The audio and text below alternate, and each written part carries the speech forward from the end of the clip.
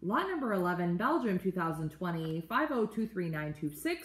This is a blue pied hen original Peter and Ian Vrays, 100% Ludo Claessens, grandparents original Ludos, inbred from brother and sister pairings, heavy inbred to First National Ace Pigeon de Groot, winner of 36 times first prizes and a nestmate.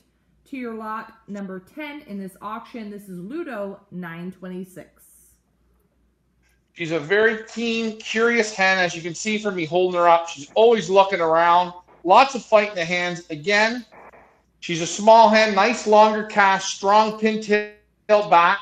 Again, a little deeper. You can feel once this bird gets working, she'll load up nice with muscle.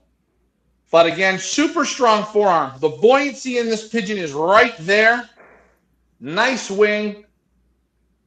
Great pigmentation.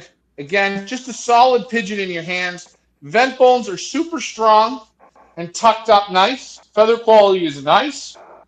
Eye sign is very rich and appealing. And again, that nice little bit of white on the face. Nice, thick, strong bars. This is your lot number 11.